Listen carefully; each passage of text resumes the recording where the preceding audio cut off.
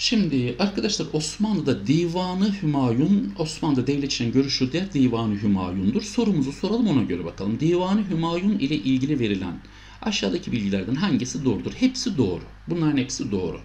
Şimdi divana bir bakalım. Neymiş? Bir, Orhan Gazi döneminde kuruldu. Divanı Hümayun'u Orhan Gazi kurdu. Zamanla buna başka üyeler de eklendi. 19. yüzyılda 2. Mahmut dönemi ki Osmanlı'da en çok ıslahat yapan paşa, önemli bir padişah. 2. Mahmut döneminde bu kurum kaldırılarak, Divan-ı Hümayun kaldırılarak yerine Nazırlar Kurulu, Osmanlı'daki adı Heyeti Vükela kuruldu. Yani aslında bu Osmanlı'da kabine sistemine geçişin bir işaretidir, bir ifadesidir. Yani eğer biri size Osmanlı'da kabine sistemi neyle başlar diye sorarsa İkinci Mahmut'tur cevap. Nasıl? Heyeti Vükela kuruldu çünkü.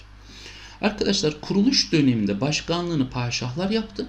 Bunu defalarca söyledim size. 1475'te 2. Mehmet döneminde sadrazama bırakıldı. Başbakan, başkanlığı, vezir azama bırakıldı. Bu da Divan-ı Hümayun'u karar organı olmaktan çıkarıp danışma organı yaptı. Arkadaşlar Divan-ı Hümayun padişahın otoritesinin temsil edildiği yerdir. Paşanın üç gücü vardır. Yasama, kanun koyma, ferman, yürütme, berat atama, tayin etme, görevden alma, terfi ettirme ve yargı. Divan-ı Mezalim, bakın Divan-ı Hümayun ayrıca devletçinin görüşüldüğü yer değil, birazdan söyleyeceğim. Ayrıca üst düzey davaların da görüldüğü yerdir. Devlet adamlarının da yargılandığı yerdir. Özelliğiyle divan mezalim özelliği de taşır. Osmanlı'da divan mezalim diye ayrı bir kurum yoktur.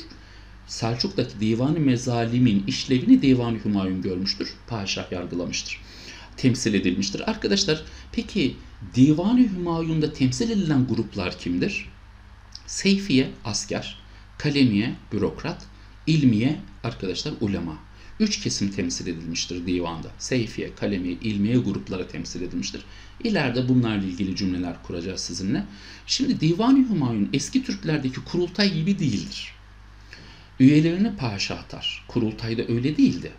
Mesela hükümdarın paşanın eşi divana katılmaz ama kurultayda Kaan'ın eşi katılabiliyordu değil mi? Bu özellikler vardı ve kurultay sıkıntılı dönemlerde hükümdarı belirleyebiliyordu ve görevden alabiliyordu. Oysa ki divanın böyle bir özelliği yoktur arkadaşlar. Üyelerini padişah seçer, devlet işleri görüşülür. Büyük davalara bakılır, halkın şikayetleri dinlenir. Şurada büyük davalara bakılır da iki mantık göreceksiniz. Birincisi şu. Büyük devlet adamları suç işledi. Divan-ı Hümayun'da bunu padişah yargılar. Ama diyelim ki kadının yaptığı yargılama, kadı bir yargılama yaptı.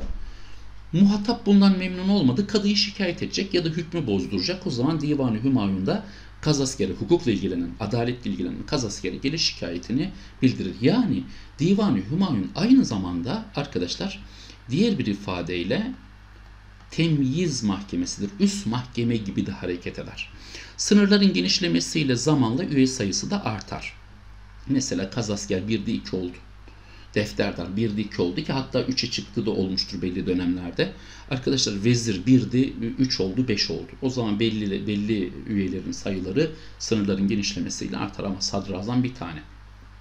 Ondan sonra Şeyhülislam bir tane, Kaptan Derya bir tane, Yeniçeri Ası bir tane. Son dönemlerde 18. yüzyılda daha çok arkadaşlar divan toplantıları sadrazam konağında yapılmaya başlandı. Biz bu sadrazam konağını Babı Ali diyoruz. Yüce Kapı diyoruz. Sadrazam konağında divan hümen toplantıları yapıldıysa burada da şu yorumu yapıyoruz. Yani 18. yüzyıldan itibaren divanın devlet yönetimindeki etkinliği zayıfladı diyoruz. Önemi kalmadı diyoruz artık arkadaşlar.